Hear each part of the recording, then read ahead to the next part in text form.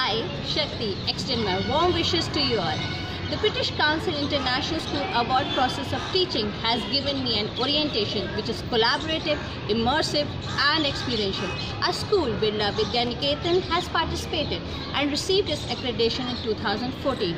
In 2017, yet again we are going in for re-accreditation.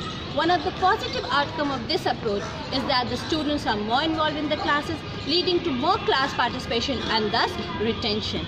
The various collaborative projects with the other schools from the different countries gave a new perspective to the students regarding the challenges faced and their solutions.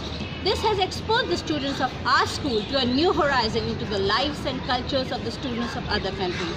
The International School Award approach further embedded various core skills in the teachers like team building, innovating and project management skills. A lot of learning has been institutionalized within the school. Thank you.